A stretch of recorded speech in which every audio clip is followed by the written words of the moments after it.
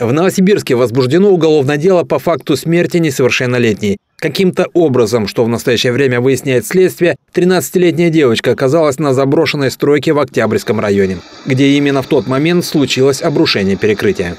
В ходе следствия установлено, что 29 июня в вечернее время в десятиэтажном строящемся доме по улице Кирпичный переулок 1А произошло обрушение перекрытия между пятым и шестым этажами, в результате чего погибла несовершеннолетняя девочка.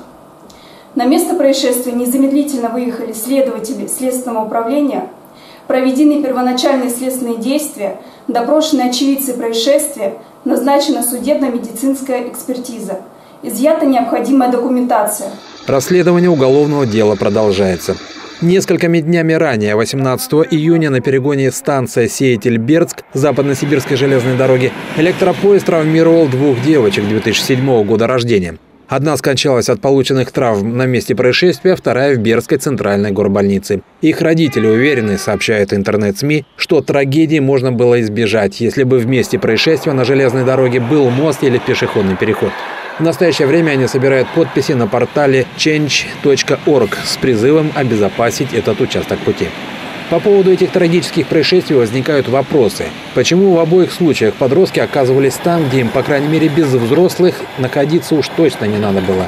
С другой стороны, почему стройплощадка, как и железная дорога, были не огорожены и имели свободный доступ? Или в Новосибирске некому держать такие вопросы на контроле? Кто-то должен ответить. Впрочем, как и в следующем случае.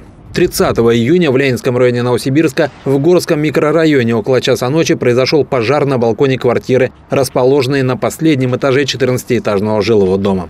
В результате пожара на балконе огнем повреждены утеплитель и автомобильные покрышки на общей площади 2 квадратных метра, сообщает в МЧС. Система оповещения и дымоудаления в доме сработала. Из подъезда самостоятельно эвакуировались 28 человек, пострадавших нет. Предполагаемая причина пожара, виновное лицо и материальный ущерб устанавливаются. Но, вероятнее всего, возгорание произошло из-за фейерверка, запущенного не по правилам. Фаер-шоу, устроенное добрыми соседями, могло привести их к более тяжелым последствиям. Окажись на балконе не покрышки, а, к примеру, канистры с бензином.